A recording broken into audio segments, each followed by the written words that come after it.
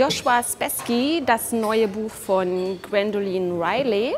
In dem Buch geht es um die 27-jährige Schriftstellerin Natalie, die in Manchester lebt und nicht so richtig weiß, wo sie mit ihrem Leben hin soll, was sie von ihrem Leben erwartet und ähm, ja halt so ein bisschen ähm, in den Tag hinein lebt.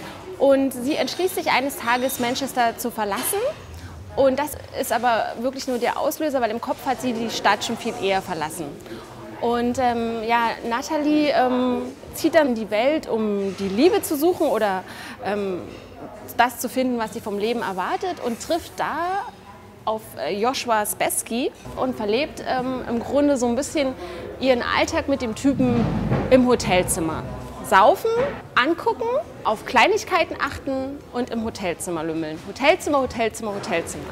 Also ich habe irgendwie bis Seite 60 oder so gelesen und gedacht, wann fängt die Handlung an, wann fängt die Handlung an?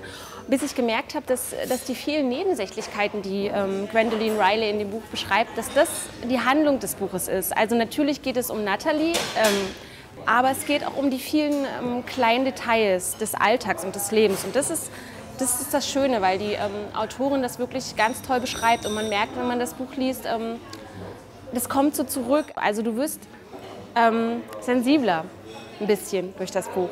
Und äh, wenn man dem, wenn man dem Buch so, so eine Musik oder so eine, so eine musikalische Stimmung geben könnte, dann wäre das auf jeden Fall äh, meiner Meinung nach so ein, so ein, Song von Sting, irgendwie I'm an Englishman in New York, obwohl das natürlich nicht in New York äh, spielt, ist die Handlung, aber das ist so das, was, was aus, dem, aus dem Buch so raus, rausklingt. Und ähm, es ist ein langsames Buch, es ist auch ein schönes Buch und es ist ein, wie ich ja schon anfangs sagte, ein Buch der schönen Vergleiche.